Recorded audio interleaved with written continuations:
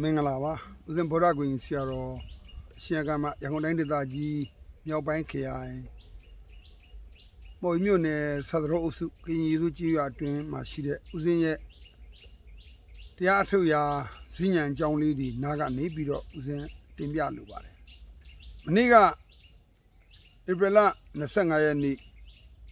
ကောသာတက်ကရ1382ခုနှစ်83ခုနှစ်ပေါ့လေ တကူလာဇန်၄ရက်နေ့ညမှာဦးဇင်းဟာ Facebook အတွက်ထောက်ကြအောင်သွားပြီးတော့ Facebook သုံးဖို့တွားရင်နောက်ကြလို့ပြန်လာခဲ့ပြီမဲ့တကြံအကျက်၄ရက်နေ့ညမှာလူငယ်တယောက်လမ်းဘေးမှာအပိုင်းရေတန်းစက်ယုံနားမှာဝင်တိုက်ပြခဏရော16ရက်နေ့တကြံအတက်နေ့မှာ ဒီကိစ္စကိုတင်ပြလိုတာ။ဘာကြောင့်လဲဆိုတော့ဒီကနေ့လူငယ်တွေညမူးနေတဲ့လူငယ်လေးတယောက်ရဲ့အခြေအနေကိုကြည့်ရတဲ့အခါမှာအဲ့ဒီလူငယ်လေးဟာအရက်တောက်ထားတာမဟုတ်ဘူး။အရက်စော်လည်းမနံဘူး။ဒါပေမဲ့သူ့မှာခေါင်းလည်းမထောင်နိုင်ဘူး။ဒီလိုလူငယ်တယောက်ကိုတွေးလိုက်တဲ့အခါမှာဒီကနေ့ generation Z တွေအသက်25 30ကြားမှာရှိတဲ့လူငယ်တွေနိုင်ငံတော်ရဲ့ အာဏာအတွက်အာဏာသိမ်းတာကိုလက်မခံနိုင်လို့ generation ဆက်လူငယ်တွေတွန်းလှန်နေကြတဲ့အခါမှာဘာကြောင့်ဒီလိုမာနရဲ့တဲ့အာဏာတွေကိုတွန်းလှန်ဖို့အတွက်တတိရှိရဲရဲနေတယ်လဲဆိုတဲ့အတွေးမျိုးတွေနဲ့ညာအဲ့လူငယ်လေးကသွားသုံးချောင်းရှိရကျိုးသွားပြီမဲ့သူ့စီကရက်စော်မနန်တော့လဲလူကတော့လှုပ်ကိုမလှုပ်နိုင်အောင်မူးနေတာတွေ့ရတယ်ဒါကိုကြည့်ချင်းအဖြစ်လူငယ်တွေကြားထဲမှာ generation Z နဲ့မူရစီဟာအလွန်ကြောက်စရာကောင်းနေပြီလို့ပြောရမှာဖြစ်ပါတယ်။ရှေ့တုန်းကအရက်သေးသာဘိန်းကင်းကစောလှော်သာတောက်စားဆိုသလိုပဲဒီနေ့လူငယ်တွေကြားထဲမှာအနက်မနန်တော့တဲ့ဒလူဝိုင်းဆိုတဲ့ဆေးပြားတွေယာဘဆိုတဲ့အခေါ်ဝေါ်နဲ့ဆေးတွေဟာလူငယ်တွေကြားထဲမှာဘလောက်ပြန့်နှံ့နေပြီလဲ။ဦးစင်းဟာတာချီလိတ်မှာမူရစီဖြတ်တဲ့လုပ်ငန်းတစ်ခုကိုတွားရောက်လေ့လာတဲ့အခါမှာ ခရီးယန်လူငယ်ထုတွေကိုအဓိကသင်ကြားရင်မူရစေးဖြတ်လုပ်ငန်းတွေကိုမြန်မာနိုင်ငံမှာယဟန်တွေကမလုပ်ကြပဲခရီးယန်တရားပြဆရာတွေတာဟာနာပြုဆရာတွေလုပ်တော့လူငယ်တွေကအရက်ပြန့်ရင်းနဲ့ဘိန်းဖြန့်ရင်းနဲ့အဲယာဘဖြန့်ရင်းနဲ့ခရီးယန်လောကမှာဆရာတွေပြန်ဖြစ်ပြီးတော့ဖျားသခင်ရဲ့ကောင်းခြင်းကယ်တင်ခြင်းကြောင့်သာလျှင်ပြည့်စုံတယ်ဆိုပြီး လောကကိုဖြတ်သန်းနေတာကိုမြင်တွေ့ရတဲ့အခါမှာမူရစေးနဲ့ဒီကနေ့ generation Z တွေအတွက်ဦးစင်းတို့စဉ်းစားရတော့မယ်။ဒါကြောင့်ဒီကနေ့နိုင်ငံတော်အကြီးအကဲတွေနိုင်ငံတာဝန်ယူနေတဲ့အာဏာထိန်အာဏာသိမ်းမြည်သည့်အစိုးရမဆိုလူငယ်တွေချမ်းမှမူရစေးဘယ်ရလာလဲ။ရှေ့ရှေ့သမင်ဘယ်ရထွက်မင်းကြီးတာကထွက်ဆိုလိုပဲအဲစကန်မှုတွေကအစရဲအရာရှိတွေအစုံသူတို့ကပဲဖြန့်ချီနေသလား။ဒါမှမဟုတ်နိုင်ငံတော်တက်မတော်ရဲ့အာဏာရ ပုံကိုယ်တွေကပဲတဲနေသလားရရှိဘုံကြီးဘုံမှုတွေအစတဲတယ်ကြားဘူးနေကြရတဲ့ဇလန်းနေကြတဲ့ကကိုယ်နိုင်ငံကိုချစ်ရင်အမြန်ဆုံးမူရစီနဲ့ပတ်သက်လို့ရှင်းလင်းပေးစေချင်ပါပြီလို့ဘုရားကွင်ဆရာတော်အရှင်အဂရမဘုရားကွင်သာနာစောင့်ရှောက်ရေးအဖွဲ့ကိုစားတင်ပြပေးကြတာပါဆိုတော့အဲ့ညသားလေးကိုဦးဇင်းတို့မဆာ6ဆိုတဲ့စစ်မြေပြင်စေတိုင်ရင်6ကိုတွားရောက်ပြီးပို့တော့အရေးပေါ်ပဲညရင်းချင်း၄ချက်လောက် ချုပ်ပေးလိုက်သလိုနှကန်းကွဲပြီးတော့ကျန်တာတွေအားလုံးကောင်းတော့လဲသွားသုံးချောင်းတော့ကျွတ်သွားတာကိုဦးဇင်းလည်းတင်ပြထားပါတယ်ပြောချင်တာတော့အဲ့လူငယ်ဟာနောက်မှသာနားတယ်ကြိုက်တယ်ဖြစ်ပေမဲ့အဲ့လိုမူးနေတဲ့အချိန်မှာဦးဇင်းမြင်တော့ရက်စော်လဲမနန်တော့မူရစေတစ်မျိုးမျိုးယာဘသို့မဟုတ်တစ်ခုခုပေါ့ဘေးတစ်မျိုးမျိုးသုံးတယ်ဆိုရင်လူငယ်တွေချမ်းမှာလောက်ပြန့်နှံ့နေပြီဆိုရင်ဒီကနေ့နွေဦးတော်လိုင်းကြီးကိုဥဆောင်နေတဲ့လူတွေဟာလူငယ်တွေကိုဒါတွေကြွေးပြီးမခိုင်းဘူးလို့မပြောနိုင်တော့ပါဘူး ဒါကိုကြည့်လိုက်ချင်အပြင်တေးသေးကြည်ကြည်ဆိုပြီးတော့အတင်းရှည်တန်းကိုရောက်လာတဲ့လူငယ်တွေဟာမကြောက်မရွံ့သွားနေတာဟာနိုင်ငံတော်ကိုချစ်ထားတဲ့မူရစ်ဆေးကြောင့်ဆိုရင်ဦးဇင်းတို့ရဲ့ခေါင်းဆောင်တွေမိဘတွေလူကြီးတွေမှာတည်တည်မီလို့ဦးဇင်းပြောကျင်ပါတယ်။ဒါကြောင့်မင်းညကောင်လေးတယောက်ဆိုင်ကယ်မှောက်လိုက်တဲ့အဖြေထဲမှာဦးဇင်းကိုယ်တိုင်သတိထားတော့ကြလဲဦးဇင်းကိုကံကောင်းလို့ရိုက်မလွတ်တဲ့ပုံဘုန်းကြီးကားနဲ့တိုက်လေသလားဆိုပြီးချက်ချင်းပြေးလာတဲ့ သူ့ရဲ့ဒေါသဟာဟိုလူငယ်လေးကိုပြဿနာရှာရင်းဦးစင်းစီကိုမုံမှန်ဖွဲ့ခဲ့တာကိုတွေ့ခဲ့ရပါတယ်။ဥဥစဉ်ကြတော့လူငယ်ကိုလည်းတနာရောက်လာတဲ့လူရဲ့အသိပညာအားနည်းမှုတွေလည်းတွေ့မြင်သတိနဲ့ဆင်ញင်လိုက်တဲ့အခါမှာနိုင်ငံတော်အတွက် generation Z တွေဟာအရေးကြီးသွေးထွက်နေတဲ့ကိန်းမှာအသိဉာဏ်ကိုအသုံးမချမြောက်ပေးတိုင်းကနေရတဲ့ရုပ်သေးရုပ်လူငယ်များမဖြစ်စေခြင်းလို့ပါ ဥစဉ်ဟာစစ်အစိုးရကိုဘောမနေတဲ့ဘုံကြီးမဟုတ်ပါဘူးအနီရောင်လည်းမဟုတ်သလိုအစိမ်းရောင်လည်းမဟုတ်ပါဘူးဒါကြောင့်ဥစဉ်ကယူသားစွာပြောရင်အဖြူရောင်မှာတစ္ဆာဥသာရှင်းတန်းတင်ပြီးတော့ယဟန်ယဟန်လို့လုပ်နေတာပါတားငယ်သမီးငယ်တွေနဲ့နိုင်ငံတော်တိုးတက်ဖို့အတွက်လူငယ်တွေကိုကဲတင်ညင်ပါတယ်မှားရွေးနေတဲ့တန်တရားဘဝတွေကနေလွတ်မြောက်ပြီးတော့တစ္ဆာနောက်ကိုလိုက်ရင်နိဗ္ဗာန်ဆိုတဲ့လမ်းကြောင်းထဲမှာဓမ္မအတိနဲ့ဘဝအရှိကိုတိတိပပကြိုးစားဗုဒ္ဓဂုဏ်ဆရာတော်ဘုရားကလည်း လူသားဘဝမှာလည်းချမ်းသာအောင်ကြိုးစားခဲ့တယ်ဆိုတာကြွားနေတာမဟုတ်ပဲအမှန်တရားနဲ့လွတ်မြောက်တဲ့အဖြစ်ကိုမြင်ញင်လို့တားငယ်သမီးငယ်တွေကိုကဲတင်ញင်လို့ပါဝိရစီကမကောင်းဘူးလားကောင်းပါတယ်ကာမဂုဏ်ကမကောင်းဘူးလားကောင်းပါတယ်မြတ်စွာဘုရားကိုယ်တိုင်လည်းဒီရဲ့အရသာတွေပြောသလိုအကျိုးကိုလည်းပြသလိုအကြောင်းကိုလည်းပြခဲ့ပါတယ်ဒီထဲကလွတ်မြောက်နိဗ္ဗာန်ရောက်အောင်ကြိုးစားပါလို့အတင်းမခေါ်လို့တော့လဲလောကရဲ့အမြင်နဲ့တစ္ဆာဉာဏ်ဖွင့်ကြည့်မယ်ဆိုရင်ဒီနေ့မူရဆေးကိုဘလူတွေရောင်းနေတယ်လေ ဦးစင်းလူဘဝတိုင်းတွေ့ခဲ့တယ်အဲ့ဒါဘာလဲဆိုရင်မူရဆေးဖမ်းမိလို့မှုကင်သတင်းမှာရေးတော့မယ်ဆိုရင်အဲသူ့နာမည်ကိုဟာရှင်ဆိုလဲမောင်မြင့်ငကြစ်ဆိုတဲ့ကောင်ကလည်းတခါထပ်ပြီးတော့အဲ့လိုကိုဖုံးစသဖြင့်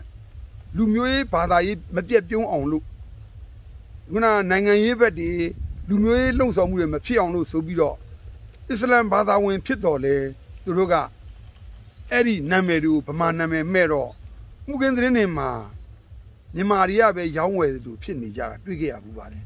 ဒါကိုဘာကြောင့်လဲလို့မင်းတော့ခုနလိုလူမျိုးရေးအထီးကျုံမဖြစ်အောင်ဆိုသလိုအဲ့ဒီလူမျိုးရေးနာမည်မျိုးမသုံးဖို့အတွက်အဲ့ဒီစကံမူအဲ့ဒီအဲရဲစီရေးကြီးတွေကိုနစ်နစ်နဲနဲလောက်လောက်လာလာသူတို့ဘာသာကြားတို့ရဲ့နာမည်မပြတ်အောင်50သိန်းသိန်း30သိန်း30အဲ့လိုပေးပြီးတော့မှဒီနာမည်ကိုသတင်းထဲမှာမှားမပါအောင် လုပ်ကြပါတယ်ဒီလိုပဲအမှုကိုမကြည့်အောင်ကြိုးစားနိုင်ကြပါတယ်ဒါဟာဘာသာကြားတွေဟာငါတို့တိုင်းပြည်မဟုတ်ဘူးဆိုတဲ့စိတ်မျိုးတွေကိုတွေ့ရတာတော့တော်တော်ဝမ်းနေတယ်ငါတို့လူမျိုးမဟုတ်ဘူးဗမာလူမျိုးတွေပြက်ပြီးရောဆိုတဲ့စိတ်ဓာတ်မျိုးတွေရှိတာကိုလေဗုဒ္ဓဂုဏ်ဆရာတော်ရင်နဲ့အမျှခံစားပြီးတွေ့မြင်ခဲ့ရလို့ဒီနေရာမှာမူရစေးလုပ်တာဟာရှမ်းနေပဲလားကချင်ပဲလားအဲလူမျိုးကြားလားဘာသာကြားလားလို့အထူးမပြောသလိုတော့လေ နိုင်ငံရေးအရာကာကွယ်နဲ့ဘာသာပြောက်လူမျိုးပြောက်မှာကဗုဒ္ဓဘာသာနဲ့မြန်မာလူမျိုးပါဗုဒ္ဓဘာသာတွေတကူကိုတူတက်မြန်မာလူမျိုးတွေမြန်မာတိုင်းရင်းသားတွေတူနဲ့တူသေးပြီဆိုရင်ပြောနေတာဟာဘင်္ဂလားဒေ့ရှ်ကဦးစင်းရဲ့မိတ်ဆွေကိုရောကြီးပြောလို့အရှင်များတို့အဲ့မှာပြဿနာတက်နေတယ်တဲ့ဘင်္ဂလားဒေ့ရှ်နိုင်ငံမှာတော့ကလို့ခုံလို့တဲ့အဲ့ဒီသတင်းကိုကြည့်ပြီးတော့ TV ကနေလာနေတဲ့အချိန်မှာဘင်္ဂလားဒေ့ရှ်မှာရှိနေတဲ့သူတွေကတအားကိုပြောပါနေကြတယ်တဲ့သူကဗုဒ္ဓဘာသာယဟန်တပါ ဗုဒ္ဓဘာသာမိတ်ဆွေများဖြစ်တော့ရှင်းပြတဲ့အခါမှာဘုရားကွင်ဆရာတော်အနေနဲ့ရင်နာနာနဲ့တိနေတွေ့နေကြားနေရပါတယ်ဒါကြောင့်ကိုတိုင်းပြည်တွေကဘာသာတရားအရာအဲဆုံးရှုံးညမယ်ဦးဇင်းတို့နိုင်ငံတွေကဖျားခိုးတယ်ဗုဒ္ဓဘာသာတွေသို့တော်ညာလဲအဲ့ဒီအလုပ်တွေကိုအများအဖြစ်ရှီအောင်ပစ္စည်းတွေတည်ယူနေတာဘယ်သူတွေလဲဆိုတာမှုခင်းတဲ့သတင်းလိုက်နေတဲ့ရင်းနဲ့ သက်ဆိုင်ရာလူတွေသိကြပါတယ်ဟုတ်ပြီမြန်မာနိုင်ငံမှာမြန်မာတွေဖောက်ပြတာမဆမ်းမိမဲ့ဘာသာကြားတွေနှောက်သွားရင်တော့တိုင်းပြည်ပြောက်လူမျိုးပြောက်မှကြောက်လို့ဒီကနေ့ကမတော်အစိုးရနဲ့အာဏာသိမ်းနေကြတဲ့မှာတန်ဃာတွေငြိမ်နေတယ်ဆိုတာလေဖြစ်စဉ်တစ်ခုလို့ဦးဇင်းတို့အကဲခတ်ကြည့်မိပါတယ်သို့တော့ဗုဒ္ဓဂုဏ်ဆရာတော်ကအဖြူရောင်ပါအဲအမှန်တိုင်းပြောရင်အယောင်မရှိလို့ပြောရင်ပုံမှန်မာလိမ့်မယ်တစ္ဆာအတိနဲ့ပဲနေခြင်းပါတယ်အနီကိုလည်းအာမပေးသလိုအနီပေးထားတဲ့အမွေဖြစ်တဲ့ မဟာတတ္တမဇောတိကတစလေးကိုဂုံယူသာယူတာဟိုတောင်ဘောမဘုန်းကြီးတို့ပြောရင်လည်းအပြစ်မတင်ပါဘူးဒါပေမဲ့ရှိနေတဲ့အစိုးရနဲ့တာနာကိုစောင့်ရှောက်မဲ့သူများဖြစ်ဖို့တော့ဦးဇင်းတို့ကြိုးစားရမှာပါခရီးယန်သမရတက်လာလို့ဆန္ဒပြတာဗုဒ္ဓဂုဏ်ဆရာတော်တပါးတည်းပါတနိုင်ငံလုံးမှာအေးအဲ့ဒါကိုပဲအကြောင်းပြပြီးဟိုပဆက်ရမလားလို့ဝင်းပြီးတော့ဆန္ဒပြမယ်ဆိုပြီးတော့ငွေလင်းသွားတဲ့ဗုဒ္ဓဘာသာကြီးလည်းအများကြီးဆိုတာအဲ့ဒီခေတ်ကကိုယ်တိုင်ကြုံခဲ့ရပါတယ်တကယ်တော့လေဘဲဘယင်မဲအုပ်ချုပ်ချုပ် ဘဲဘာသာကြားပဲအုပ်ချုပ်ချုပ်ကိုယ့်အလုပ်ကိုလုပ်ရမှာတော့သိပါတယ်သို့တော့အဲ့လိုဘာသာကြားရဲ့အောက်မှာတော့ဗုဒ္ဓဘာသာညှိုးငယ်တာဟာဘင်္ဂလားဒေ့ရှ်ကိုရောက်ခဲ့တဲ့ဗုဒ္ဓဂုကြီးဆရာတော်တင်ပြချက်တွေကသိသိတာလာပါတယ်ဒီနေရာမှာသားငယ်တွေသမီးငယ်တွေအမြင်ဖွင့်ပြီးတော့တော်လန်ကြပါຫນွေဦးတော်လန်ရေးဆိုတာဟာတကယ်တော့အစ္စလမ်ဘာသာရဲ့စကားလုံးလို့ပြောနေကြသလိုအနောက်နိုင်ငံတွေကိုအားကျပြီးတော့တို့နိုင်ငံမှာမှ စပရင်းယာဒီမရှိတော့တဲ့ယာဒီ၃မျိုးမရှိပါဘူးသုံးယာဒီ၄မျိုးမရှိပါဘူးသုံးခုပဲရှိပါတယ်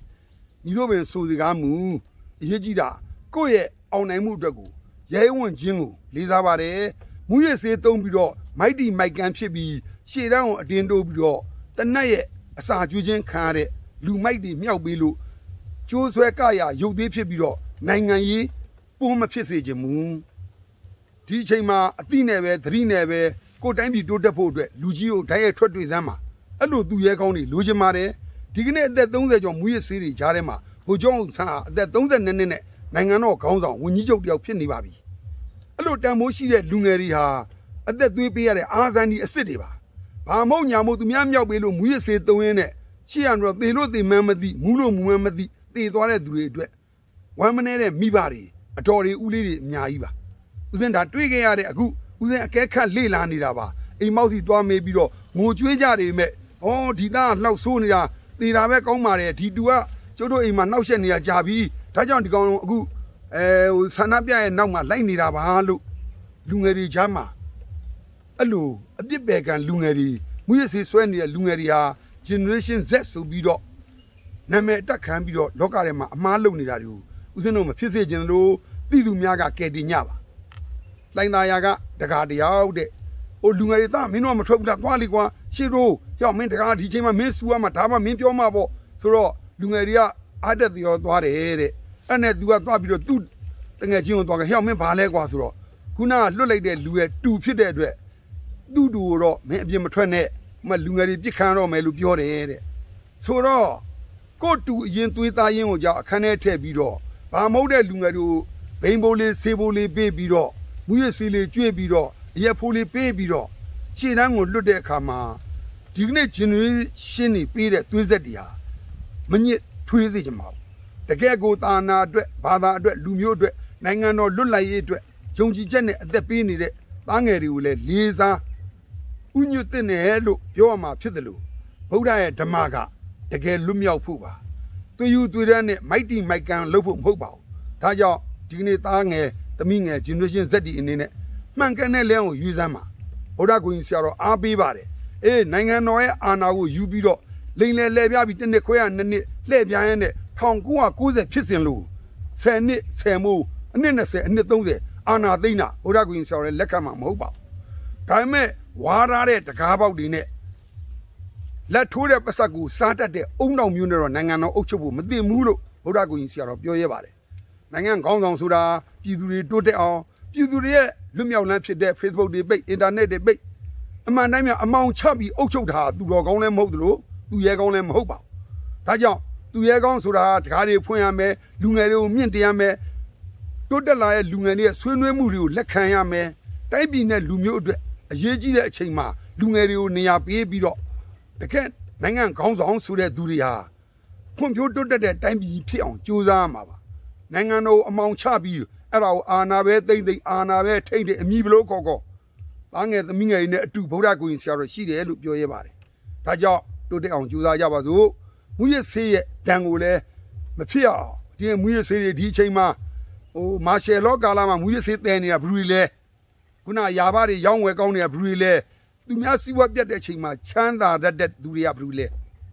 ဓမ္မမိတ်ဆွေတွေသိစေချင်ပါတယ်အဲသူများတွေဘယ်လိုပဲမဟုတ်ဟုတ်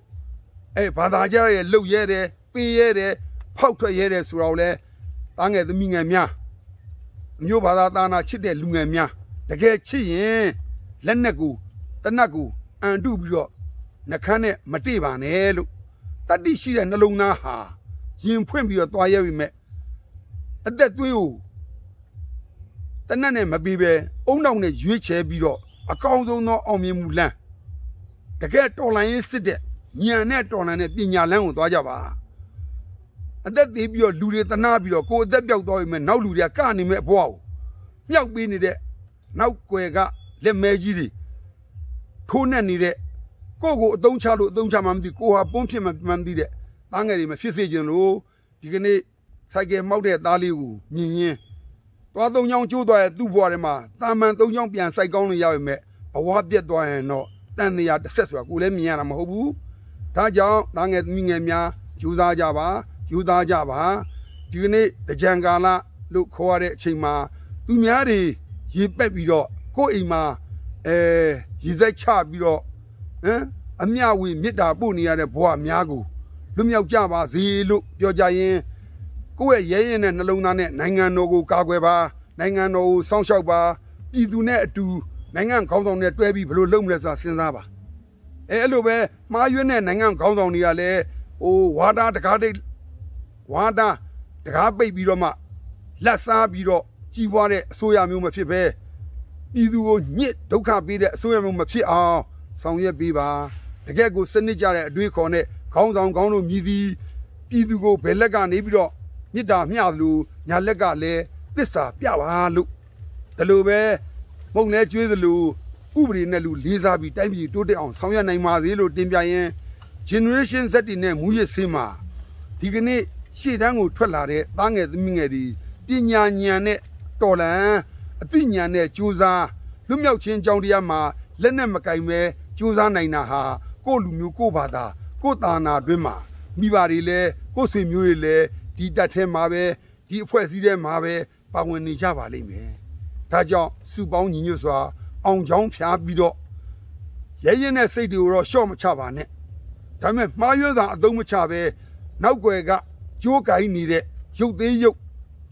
generation Z တွေမဖြစ်စေပဲရင့်ကျက်တဲ့ generation Z တွေဟာရဲရဲတွေ့ရဲရဲတိုက်ရဲရဲအောင်မြင်အောင်ဝင်ပြောပါတနက်နဲ့ထိတ်တိမပြစ်ပါဘူးအဲစူပူတဲ့ပုံစံမျိုးနဲ့လုံနေရင်တော့ဘာမှလည်းမရလို့သဘုံဖြစ်သွားတဲ့ဘဝမျိုးတော့ဖြစ်ပါစေနဲ့လို့ဆူတောင်းရင် မှုရစေးဆွဲနေတဲ့လူငယ်တွေကြားတွေကတကယ်ရင့်ကျက်တဲ့သားငယ်သမီးငယ်တွေရဲ့လွတ်မြောက်တဲ့ပွင့်လန်းတဲ့တကယ်ကြိုးစားနေတဲ့အမျိုးဘာသာနာနဲ့နိုင်ငံတော်ကိုချစ်တဲ့တကယ်ကိုလွတ်မြောက်ပြီးတိုးတက်တဲ့တိုင်းပြည်ကိုရည်စူးတဲ့သားငယ်သမီးငယ်များအောင်မြင်ကြပါစေလို့ပြောကြရင်နှုတ်ဆက်လိုက်ပါတယ်အလုံးချမ်းမြေ့နိဗ္ဗာန်တွေ့ကအမြချမ်းသာရှိပါစေ။